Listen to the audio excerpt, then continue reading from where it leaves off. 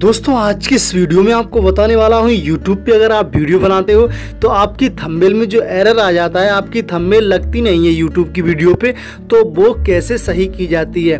दोस्तों, इस वीडियो में यही बताने वाला हूँ। अगर आप थंबनेल को सही करना चाहते हैं, जैसा कि मैं क्रोम पे क्लिक करता हूँ, इस तरीके से हमारी वीडियो अपलोड हुई, और यहाँ पे आप देख सकते हैं, ये, यहाँ पे प्रश्नवाचक, यानी कि ये ये चिन्ह लग के आ गया है, यानी कि यहाँ पे ये बता रहा है कि भाई, यहाँ पे इस पर हम चिन्ह पे क्लिक करते हैं तो यहाँ पे कुछ और जानकारी देने लगता है। जैसा कि हम यहाँ पे बार बार क्लिक कर रहे हैं तो यहाँ पे कुछ हो नहीं रहा है। थंबनेल लग नहीं रही है, ठीक है? इस तरीके से बार बार क्लिक करें थंबनेल लगती नहीं है। तो दोस्तों, आपको मैं इसमें एक छोटी सी सेटिंग बताऊँगा, जो आप करके बहुत अच्छी तरीके से सीख जाओगे। कभी भी थंबनेल पर एरर नहीं आएगा। यूट्यूब की थंबनेल पर कभी एरर नहीं आएगा।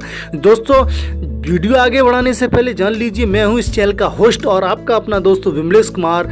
और दोस्तों, वीडियो को अभी तक लाइक नहीं किया तो लाइक कर दो, चैनल को सब्सक्राइब कर दो। तो चलिए जानकारी को आगे बढ़ाते हैं। दोस्तों, जब भी आपकी यूट्यूब की वीडियो में ऐसा एरर आए, जैसा कि हम अभी आपको क्रोम पे क्लिक करते हैं, ऐसा एरर आता है, जैसा कि यहाँ पे आप देख सकते हैं तो आपको कुछ नहीं करना है, बस छोटा छोटा सा काम करना है। अपने डाटा को इस तरीके से इसे बंद कर देना है। बंद करने का दोस्त, जैसे ही आप यहाँ क्लिक करोगे, इस तरीके से क्लिक करने का दोस्तों ऑटोमेटिक ये आपकी फ़ोटो सेलेक्ट करने लगेगा। ब्राउज़र पे इस तरीके से जैसे ही आप क्लिक करोगे और यहाँ पे आपको अपनी गैलरी जैसे यहाँ पे हमारी गैलरी ये है तो हमने इस तरीके से कर लेने हैं, ठीक है? और यहाँ पे जैसे कि हमने ये वाली थंबेल लगानी तो इस तरीके से ये वाली थंबेल इस तरीके से लग जाएगी। जैसा कि दोस्तों आप देख सकते हो, मैंने लाइव प्रूफ आपके कर को दिखाया है, जैसे कि यहाँ पे थंबेल लग चुके हैं। दोस्तों, ऐसे ही आप थंबनेल वाले एरर को अच्छे से चेंज कर सकते हो। बस आपको डाटा बंद करना है ऊपर से, बंद करके और उसे खोल देना है। बस आपकी थंबनेल सेट हो जाएगी एरर कभी भी नहीं आएगा। दोस्तों, उम्मीद करता हूँ वीडियो अच्छी लगी हो। वीडियो अच्छी लगी वीडियो को लाइक शेयर करना बिल्कुल भूलना, क्योंकि दोस्तों, इस चैनल पर हम इस तरह की वीडियो हमेशा से